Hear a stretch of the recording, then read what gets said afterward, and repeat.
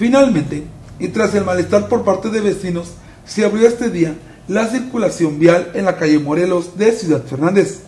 según lo manifestó el titular de Obras Públicas, Jacobo Martínez Sánchez. Obras está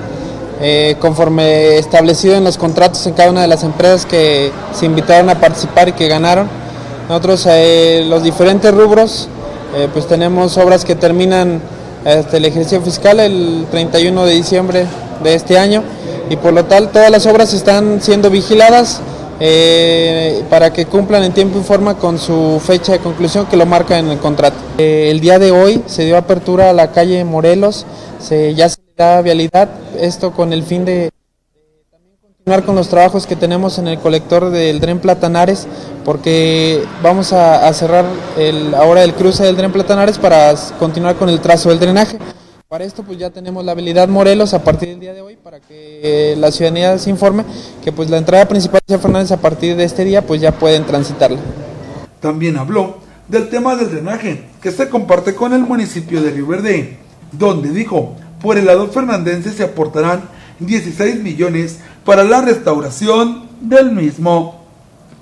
Sí, este, la semana pasada se tuvo una, una participación con gente de, de, la, de Conagua en San Luis, la ciudad de San Luis Potosí, donde se nos, se nos comentó el inicio del proceso de licitación de esta importante obra del colector del refugio. Eh, en su primera etapa eh, va a ser únicamente y exclusivamente por el trazo del municipio de Ciudad Fernández, para posteriormente el municipio de Río Verde tiene que gestionar sus recursos para el siguiente año y continuar con la hasta donde se tiene contemplado en este ejercicio fiscal.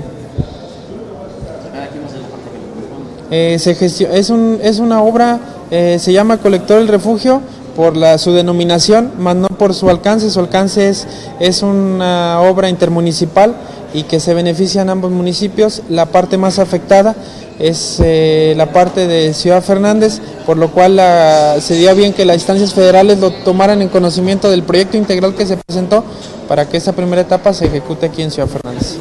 En inversión estamos alrededor de los casi 16 millones de pesos.